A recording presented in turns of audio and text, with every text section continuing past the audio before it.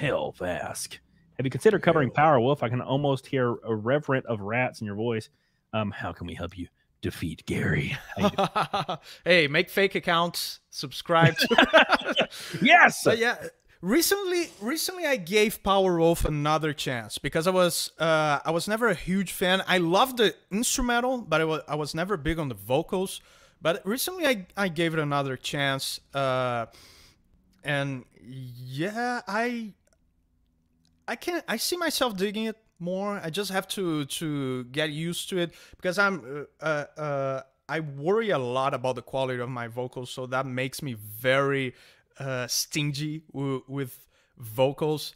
But yeah, I can I can see myself digging. it. I was doing some research on on, on a studio that I plan to to work with, which is Fascination Street Studios from uh, Sweden. They're from Sweden. What's up with Yeah. those those northern countries like Sweden, N- Norway, and Finland? The, they have like uh, one metal band for every five citizens, Yeah. Well, it's stuff like that. I was I was talking to Gus G on my show recently, and he said there is a there is one studio, and it's like in Gothenburg or something. I need to look it up. And he said, and I went and Googled it, and the dude that runs the studio has produced like every metal album that I like that I enjoy.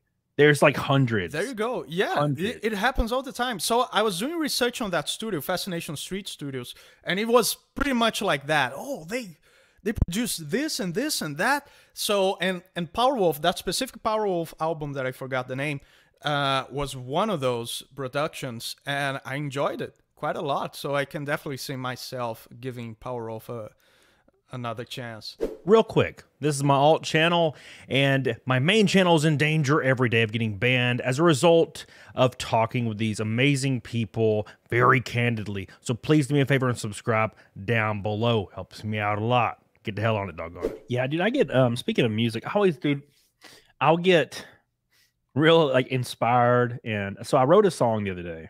I wrote the bass the guitar I got the drum track down. I had I, I, I started doing like synth with MIDI controllers. I got a real nice MIDI set up, and I have a like a digital grand piano as well. MIDI, MIDI is like a, a, a there's no coming back. yeah, from, it's from, from, from the rabbit hole Dude, of I- MIDI. I literally uh, so I have like an AK. I have a A AKG or AG key K. It's like a huge goofy ass um, MIDI controller, and I like downloaded a Serum, like bought it and downloaded it, and went to the first preset, which was this this weird I forget what it's called, um, a arpeggiator or oscillator or something, and I just like pressed like some kind of uh like octave key, and it was just like and I was like, well, this is the greatest. Yeah. ever. Like, and it was the first thing. So the it, first preset, and it already did the, you you have the ideas coming to your head Yeah. already, and then you hit the second preset. It's like what more ideas? yeah, It's awesome. Yeah, Yeah. it's uh, it- there's no coming back from that rabbit hole. My thing with MIDI is more orchestral instruments. I just Yeah. love downloading orchestral VSTs Yeah. and digital choirs. I Yeah. I'm working with a digital choir for for a song I'm working in from uh, it's called Oce- Oceania, Oceany, Oce- Oceania. I think is how I know what you're it. talking about because I had a, I actually had a orchestral VST for a long time on my Uh, th- old this one is choirs. It's Oh. like they the, those choirs actually say words. yeah eh, Random words when you do the chord. It's like it just looks like the real thing. I have a real choir at the tip of my fingers. It's insane. yeah I need that I need that bad. I was so- awesome. I was working on this song and it's completely different style than I'm used to. And it's like really dark and goofy and like bouncy. And uh, I want like dance drums on it, but I also want like blast beats in it. There's all If this to, if you had to categorize it in one style, what would, what would be close? oh my the god. closest to I don't even know. Um it's it's I don't know, man. I don't even know what it would be called. It's it's it's like dance metalcore. It's like the weird uh, Dance metalcore. yeah, it's like strange. It's uh it's That sounds awesome. it's like there's this band called Beast in Black. If you if I yes, didn't do I power know. I love them. If I remove the power chords and I'm playing on like a seven string and drop A, that's kind of like how it is. Okay. So it's uh it's kind of like that. Um, and that's that's what I'm going for, kind of. But I also wrote this other song that I sent to Gus G that is straight up power metal. Ah, oh, now you're talking. Now you're yeah, talking my thing, yeah. man. I'll I'll send it to you. Um, it, it's awesome. It, it's pretty wicked, but it's it's all over the place and it's like seven minutes long. And I'm like, why did I do this?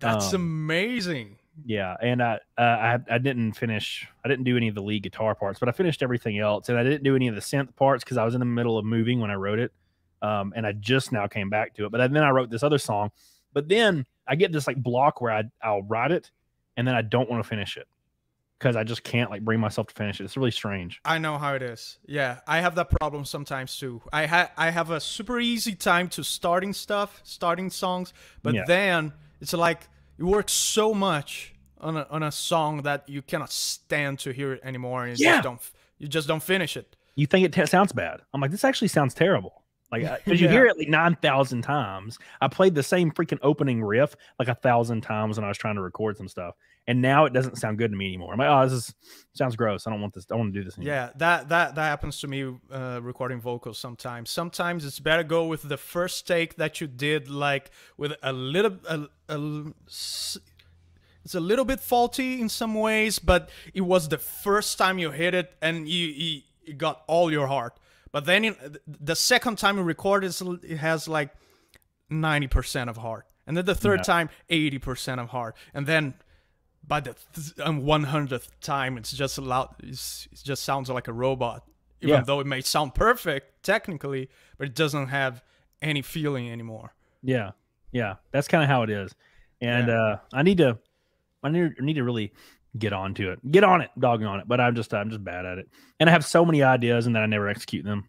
So that's and you do you do your own mixes? Yeah. Um.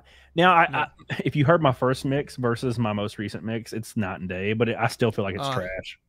Yo, we yeah. This we all been there. And so like i'm i'm starting to be more open to outsourcing my mixes. That's why i'm researching different studios and stuff like that because it consumes so much of you because you already have sort of an attachment to to the work because you made yeah. it in the first place. So your mix might reflect some things that it shouldn't reflect be- because someone else approaching it with a clear mind and, and, not not being any way shape or form attached to it will have a much better uh, approach technical approach yeah, to it. yeah. And unbiased because I am always trying unbiased, to mix yes. yeah i'm trying to mix the guitars louder because guitar is my per- my preferred instrument so I'm mixing mm-hmm. the guitars louder, and then you'll hear. I'll send it to. I remember I used to have a vocalist, and I would send my mix to the vocalist or my my stems to the vocalist, and they would make the vocals so loud. And I'm yeah, like, my vocals are so loud, man. I can't hear anything else. The, like, Dude, yes. My first mixes in my channel, the vocals are super loud.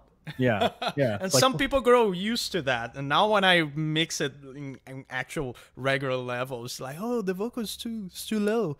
It's yeah. like but some some people some people come to the to my channel like only only for Dan, not necessarily for the whole work for for for the whole song. I just want to hear Dan, and it's like no, I'm I'm just part of it. I'm just yep. one of the elements then of the metal or- orchestra that you're hearing.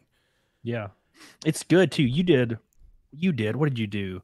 You did uh Rosanna by Toto. Oh, dude. that that's an old one. Yeah. Yeah, dude, because it's my that's my favorite song on on piano to just jam out to.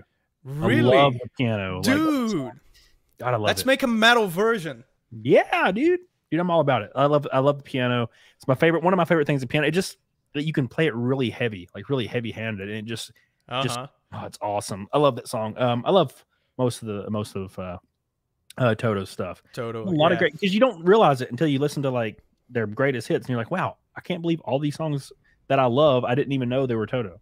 We all know Africa yeah. is, but mm-hmm. but anything else like Rosanna, God, what a great song. Yeah, I definitely have three Toto metal metal arrangements in my head that yeah. I just need to to I just need to bring it to the real world, which is uh, Africa, Rosanna, and I'm blanking on the third one. I'll I'll remember later as we yeah. as, as we talk. But yeah,